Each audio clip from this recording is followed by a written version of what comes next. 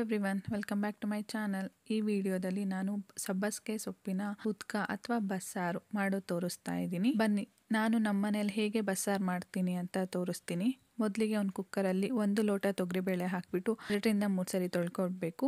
ತೊಳೆದಿರೋ ತೊಗರಿಬೇಳೆಗೆ ನಾನು ಕಟ್ ಮಾಡಿ ತೊಳೆದಿಟ್ಕೊಂಡಿರೋ ಸಬ್ಬಸಿಗೆ ಸೊಪ್ಪು, ನಾಲ್ಕು ಚಮಚ ಕೊಬ್ಬರಿ ತುರಿ, ಅಂದರೆ ಹಸಿ ಕಾಯಿನ ತುರಿದಿಟ್ಕೊಂಡಿರೋದು ಹಾಕ್ತಾ ಇದ್ದೀನಿ.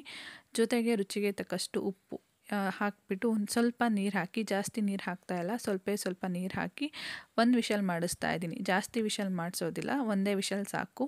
ವಿಷಲ್ ಆದಮೇಲೆ ಕಂಪ್ಲೀಟಾಗಿ ತಣ್ಣಗಾದ ನಂತರ ಕುಕ್ಕರ್ ಓಪನ್ ಮಾಡಿ ಒಂದು ಬಸಿಯೋದಿರುತ್ತಲ್ವ ಅದಕ್ಕೆಲ್ಲ ಕಾಳು ಹಾಕಿ ನೀರನ್ನು ಮಾತ್ರ ಬಸ್ಕೊಳ್ತಾ ಇದ್ದೀನಿ. ಕಾಳಿಂದ ನೀರೆಲ್ಲ ಇಳ್ಕೊಳಕ್ಕೆ ಬಿಡಬೇಕು. ಕಾಳು ಮತ್ತು ಸೊಪ್ಪೆಲ್ಲ ತಣ್ಣಗಾದ ನಂತರ ಇನ್ನೂ ಸ್ವಲ್ಪ ನೀರು ಇರುತ್ತಲ್ವ, ಅದನ್ನು ಹೀಗೆ ಹಿಂಟ್ಕೊಂಡ್ಬಿಟ್ಟು ಕೈಯಲ್ಲಿ ತೆಗೆದಿಟ್ಕೊಳ್ತಾ ಇದ್ದೀನಿ.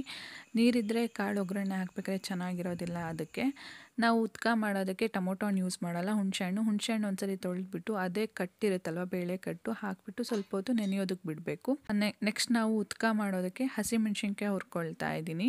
ಬಸ್ಸಾರಿಗೆ ಐದರಿಂದ ಆರು ಹಸಿಮೆಣ್ಸಿನ್ಕಾಯಿ ತೊಗೊಂಡಿದ್ದೀನಿ. ಅದನ್ನು ಇಲ್ಲಿ ತೋರಿಸ್ತಾ ಇದ್ದೀನಲ್ವ, ಅಷ್ಟು ಹುರ್ಕೊಂಡ್ರೆ ಸಾಕು. ಇಲ್ಲಿಂದ ಹಸಿಮೆಣ್ಸಿನ್ಕಾಯಿ ಎಲ್ಲ ತೆಗೆದು ಒಂದು ಪ್ಲೇಟಿಗೆ ಹಾಕ್ಕೊಂಬಿಟ್ಟು ಇದೇ ಬಾಣಲಿಗೆ ಇನ್ನೊಂದು ಸ್ವಲ್ಪ ಎಣ್ಣೆ ಹಾಕಿ ಸಾಸಿವೆ, ಎರಡು ಕಟ್ ಮಾಡಿರೋ ಹಸಿಮೆಣ್ಸಿನ್ಕಾಯಿ, ಈರುಳ್ಳಿ ಹಾಕಿಬಿಟ್ಟು ಫ್ರೈ ಮಾಡ್ಕೊಳ್ತಾ ಇದ್ದೀನಿ.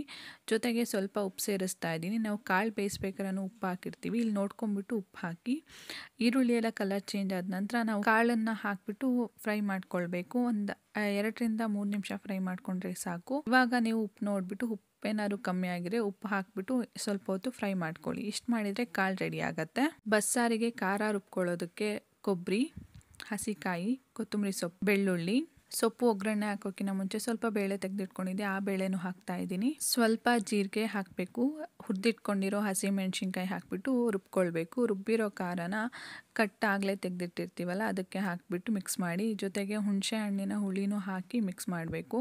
ಎಲ್ಲ ಮಿಕ್ಸ್ ಮಾಡೋ ಆದಮೇಲೆ ಸ್ವಲ್ಪ ರುಚಿ ನೋಡಬೇಕು. ರು, ನಾವು ಬೇಳೆ ಬೇಯಿಸ್ಬೇಕಾದ್ರೆ ಉಪ್ಪು ಹಾಕಿದ್ವಿ, ಜಾಸ್ತಿ ಹಾಕಿರಲ್ಲ. ಉಪ್ಪು ನೋಡಿಬಿಟ್ಟು ಸ್ವಲ್ಪ ಉಪ್ಪು ಕಮ್ಮಿ ಆಗಿರಿ ಉಪ್ಪು ಸೇರಿಸ್ಕೊಂಡ್ರೆ ಬಸ್ಸಾರು ರೆಡಿ ಆಗುತ್ತೆ. ಈ ರೆಸಿಪಿ ವಿಡಿಯೋ ನಿಮ್ಮೆಲ್ಲರಿಗೂ ಇಷ್ಟ ಆಯಿತು ಅಂತ ಅಂದ್ಕೊಳ್ತೀನಿ. ಇಷ್ಟ ಆದರೆ ಒಂದು ಲೈಕ್ ಮಾಡೋದನ್ನು ಮರಿಬೇಡಿ. ಹಾಗೂ ನನ್ನ ಚಾನಲ್ಗೆ ಸಬ್ಸ್ಕ್ರೈಬ್ ಮಾಡ್ಕೊಳ್ಳಿ.